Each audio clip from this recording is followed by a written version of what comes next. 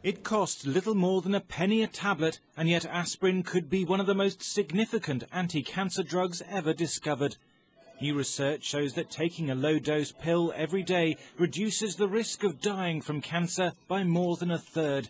It's such a dramatic benefit that the researchers say most people should now consider taking aspirin from middle age, even though there's a small chance of bleeding in the stomach.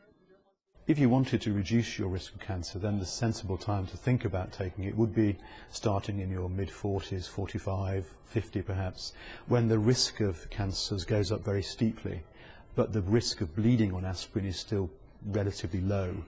Uh, and then perhaps continuing to take it until the age of 70, when you'd have had the benefit in terms of prevention of cancers. According to research in the Lancet Medical Journal, aspirin reduced deaths from prostate cancer by 10%, lung cancer by 30%, bowel cancer by 40%, and cancer of the gullet by 60%. Aspirin is now widely available in 75 milligram tablets. That's around a quarter of the normal pain-killing dose. But even at that low dose, there's still a small risk of stomach bleeding, and doctors recommend it's taken with food, or even better, a glass of milk. Aspirin is in most medicine cabinets, and shoppers were surprised that such a familiar drug had such a potent effect. Yeah, it's an amazing breakthrough, really. That because you know, one in three people have cancer, so and I have cancer in my family, so yes, I would take those. You would take it, wouldn't you? For that sort of money, be silly not to.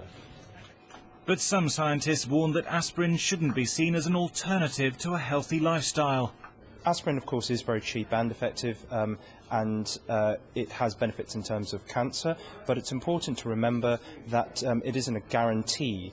Um, there are other ways of also reducing the risk of developing and dying from cancer, such as avoiding smoking, cutting down on alcohol, and keeping a healthy body weight. And these things are still important too. Aspirin has already been shown to reduce the risk of heart disease, strokes and cataracts. It may also help to prevent Alzheimer's disease. The drug, derived from willow bark more than a hundred years ago, is proving to be the marvel of modern medicine.